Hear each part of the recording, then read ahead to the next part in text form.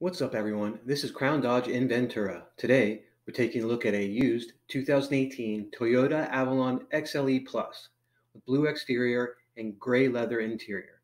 Coming in at 33,106 miles, it's a one owner clean Carfax with no accidents. It's got the 3.5 liter V6 engine that gets 268 horsepower, 21 mpg in the city, 30 on the highway.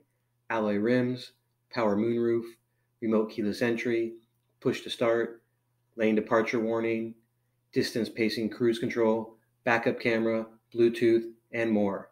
If you like what you see, call, direct message us, or visit our website for pricing and more details. Again, this is Crown Dodge in Ventura, and you just previewed a used 2018 Toyota Avalon XLE Plus.